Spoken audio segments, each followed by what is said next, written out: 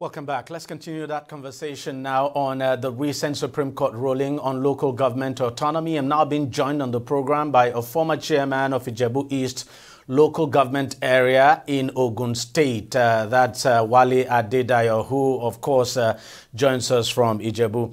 Uh, thank you very much, um, Wale, for joining us on the program. Uh, uh, first off, let, let me get your thoughts on this ruling by the Supreme Court.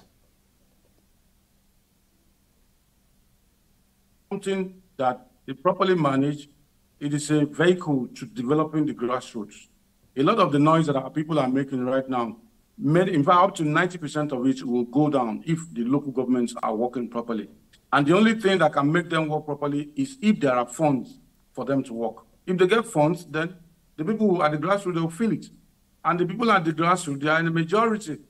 It's the local government that controls, it's like the local government that controls the country because all the people who are shouting about the big power and so on, they live in one local government or the other. If the local government should do what is necessary at their level, end of story. A lot of these uh, agitations will come down. That's it. It will affect food, it will affect security, it will affect so many other things. But the funding, funds needs to be there. If the funds are not there, then there's nothing any local government can do. But once the funds are there, then it will positively affect the, the country. That's it. We, we, we, we know as, as a local government chairman, you had, you had your own issues with uh, the, the, the, state government, and uh, of course, I understand that issue is still in court uh, as we speak. But you, you must be wishing that uh, th this kind of ruling had come even long before now, probably before this whole problem you had with the state government uh, started. No, my brother, the, the challenge I believe that we have, I won't call it a problem, it's a challenge that we have, is that we have governors who don't have conscience. If you have conscience, for God's sake, it should break your conscience that the people you are governing, they have to be okay. And one of the major ways to be okay is for the local governments in your states to be working effectively. If the local governments are not working, then what are you a governor for? Why did you go there? Why did you go there? Each of us, I mean, local government chairman, by whatever we got there, at least you campaign that you are going to do this, you are going to do mm. that. How will you do that if the funds to do it is not available? For instance, primary schools are under local government. Primary healthcare centers and so on are under local government. How many of us can repair primary schools now? How many of us can take charge of health centers? Because the funds are not just there. Apart from that, there is something I expect that they will even, because some of us will expect that the federal government will even go further than this. Some of the functions of the local government are stipulated by the constitution have been mm. hijacked by the state. The local governments are supposed to be collecting tenement rates in all the states of the federation. It is not the business of state government to be collecting tenement rates, but they rolled it in through the House of Assembly. It is the state government who are collecting tenement rates now. If you look at motor parks, check the constitution. It's under the jurisdiction of the local government. All these transport unions and so nobody is paying any money to local government. And that is where local government ought to be generating funds from. But let's even start from the federation account. If these funds can get directly to local government, then maybe the other one will be taking it one step at a time. Mm. This one is a good victory. It's a fantastic one. Now, fantastic uh, one. Yeah. So, so let, let me ask you. Uh, when you were local government chairman, uh, chairman now, does it mean money wasn't coming to you directly? It wasn't coming to your local government directly, or, or, or what? See, what happens? I mean, from, from the Jack from the JAC account. You know, at the federal level, you have FAC, FAAC.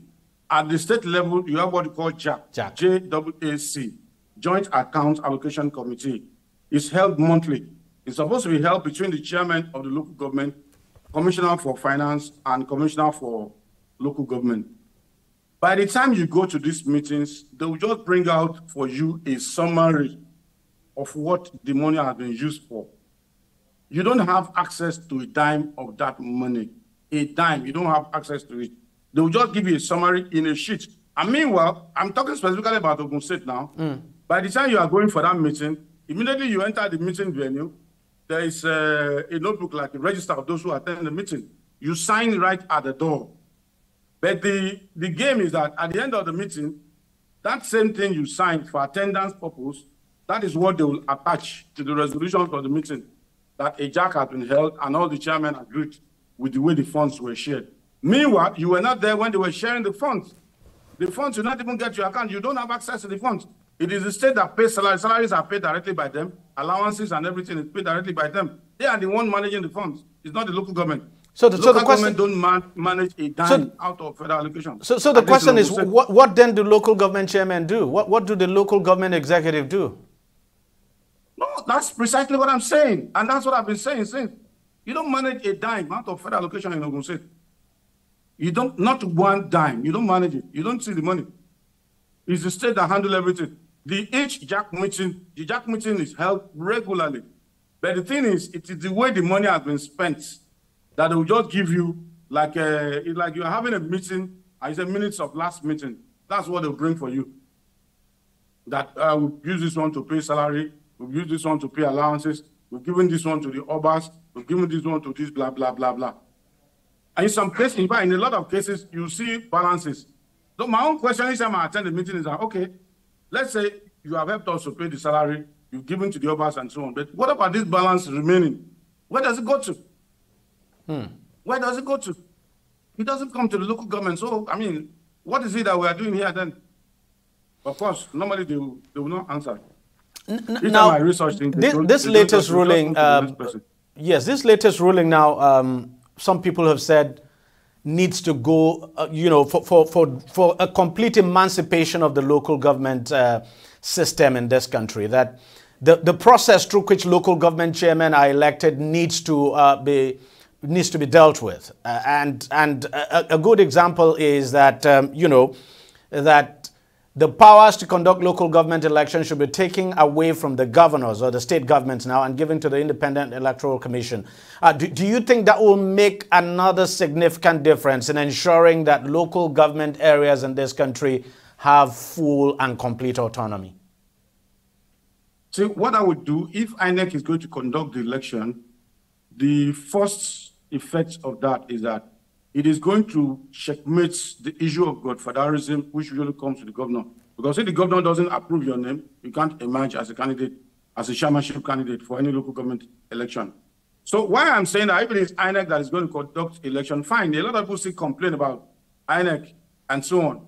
But the fact is that you discover that INEC will still conduct a credible election mm. far, far better than any state uh, independent electoral commission will conduct.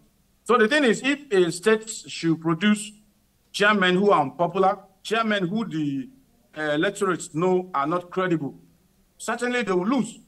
So you can imagine a party controlling a state now, and you have about uh, 20 local government, and 18 of such chairmen, I mean, did not win election. 18 of your candidates did not win out of 20. Hmm. So that means you sit up next time, or maybe if you are smart enough, you see the signal coming, then you allow internal democracy in your party. You don't dictate.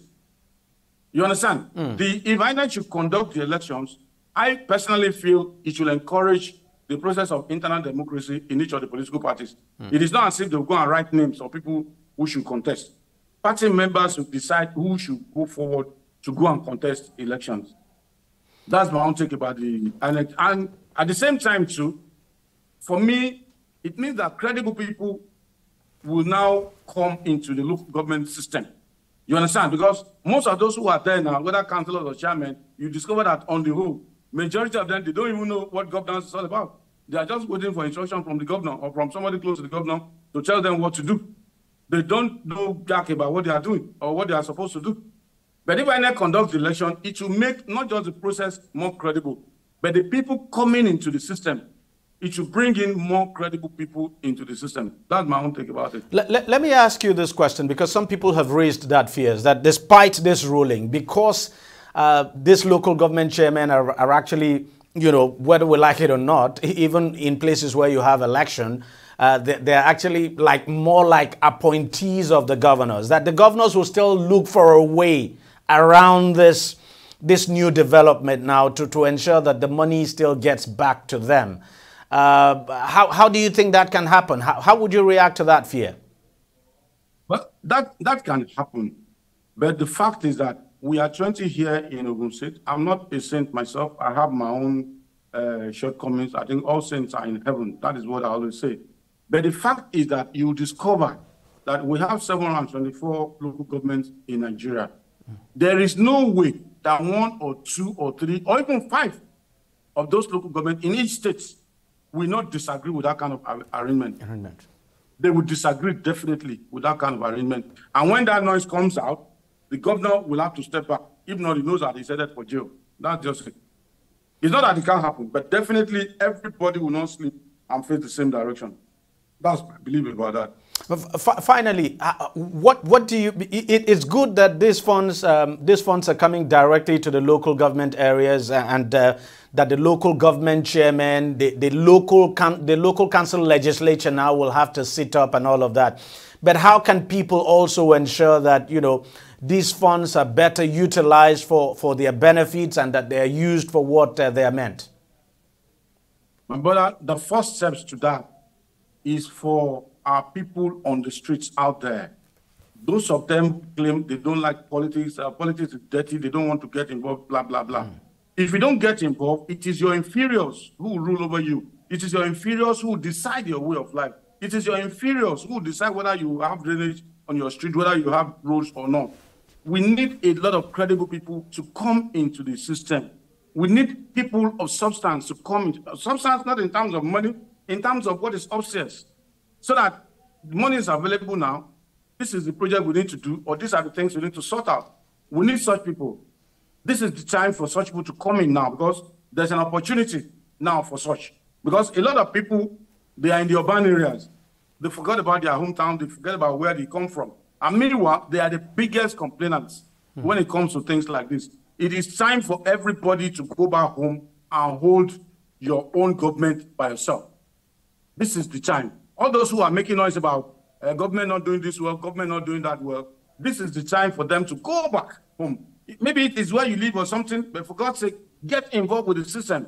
You may not necessarily contest for election, but support those who you believe are credible, who can do something, who can make positive changes in your society. Because right now in Nigeria, there's a lot of noise about Mr. President. Mr. President is not doing this, Mr. President is not doing that.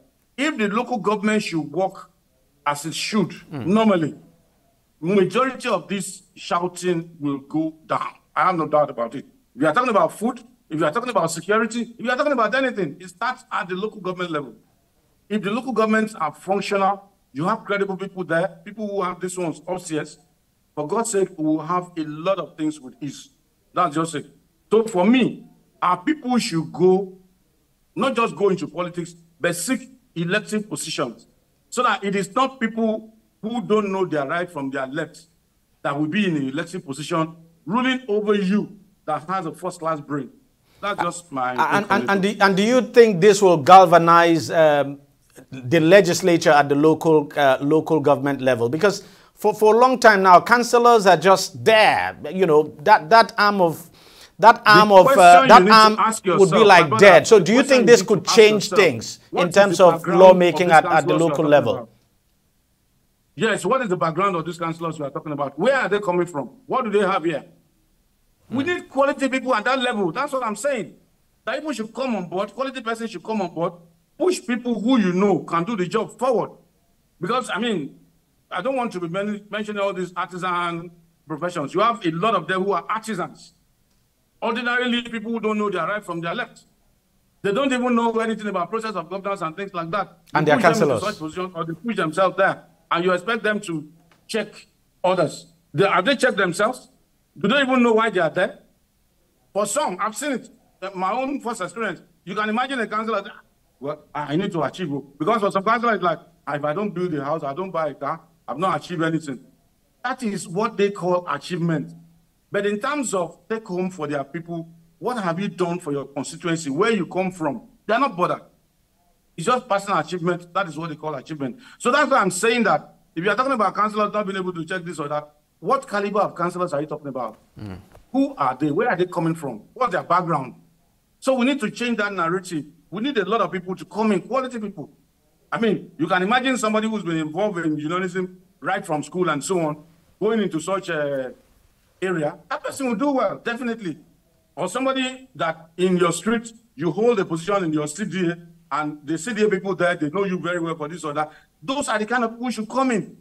Landlord tenant association, people who have been doing very well there, who have been helping their different areas. This is the time to bring them on board. Let them come in as councillors, let them come in as chairmen. Because if you check out some CDAs, they've done excellently well. I'm talking about community development association. Mm. These are landlords and tenants association all over the place. That's true. Some of them have done very, very well. I'm talking about their EXCOs. And they have ordinary members too, who always make meaningful contributions during their meetings. Those are the kind of people that the local government needs. They know where the shoe is pinching each local government, and they know what to do. They have the brain, they have the capacity to do it. So those, those are the kind of people we should encourage to go into local government right now. That's it for me. Wale Adedayo, thank you very much for your time. I, I thank you so very much for honoring our invitation and thanks a lot for your contribution. Thank you, my brother. God bless you. That was Wale Adedayo, who is uh, the former chairman of uh, Ijebu East local government area in Ogun State. We'll take a short break and we'll be right back to continue the conversation on this topic. Stay with us.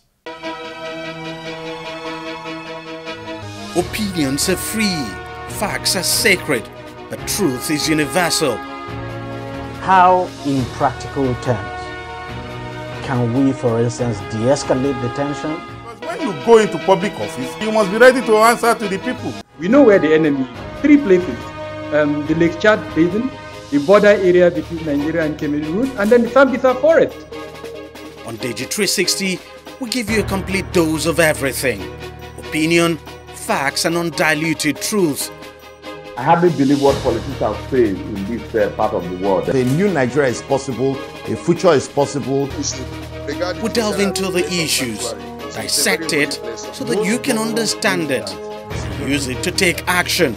I don't think there's any need for go any governor to look for grant for ranching. Deji 360, dissecting the issues.